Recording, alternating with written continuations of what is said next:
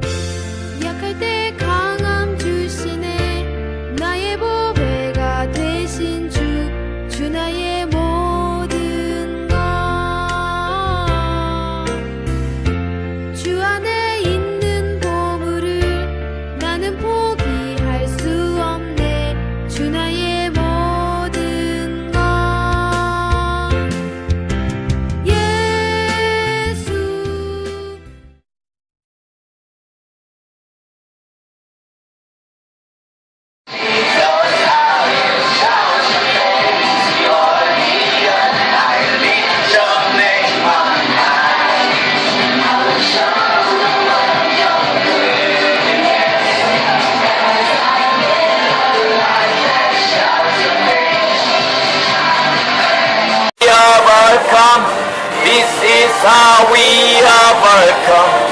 This is how we overcome.